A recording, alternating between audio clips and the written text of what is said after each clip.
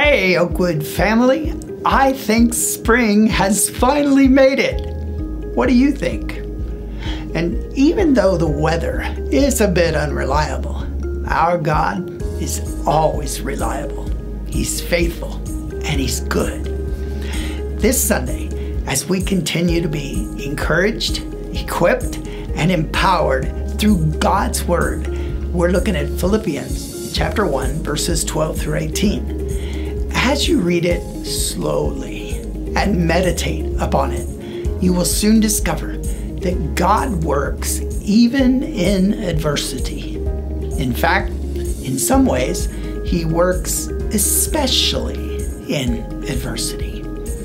I can hardly wait to share what this man of God has to say to us from the prison cell. See you Sunday.